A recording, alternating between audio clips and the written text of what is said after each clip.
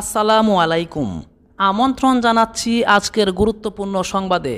Corona virus সংক্রমণ রোধে আজ শুক্রবার তেইশ জুলাই সকাল ছয়টা থেকে কঠোর বিধিনিষেধ শুরু হয়েছে, যা পাঁচ আগস্ট দিনগত রাত বারোটা পর্যন্ত বলবৎ থাকবে।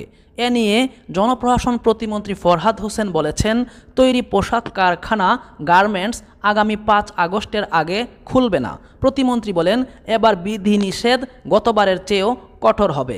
অফিস আদালত গার্মেন্টস ফ্যাক্টরি সহ সব কিছু বন্ধ থাকবে।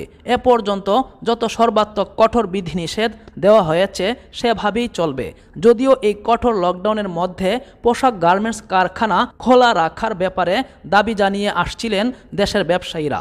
গার্মেন্টস কারখানা খোলা রাখার ব্যাপারে তারা প্রধানমন্ত্রীর কাছে এ ব্যাপারে চিঠিও দিয়েছেন।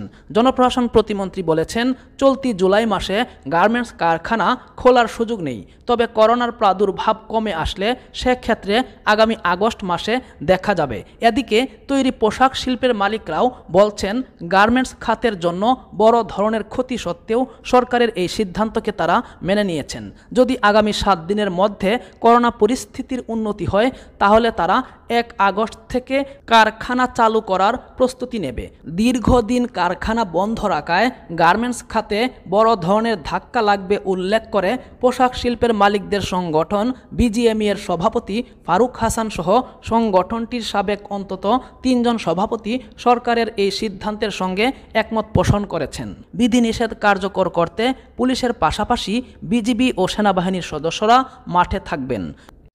সাবস্ক্রাইব করুন নাম্বার ওয়ান নিউজ বিডি চ্যানেলকে আর বেল আইকনটি বাজিয়ে দিন।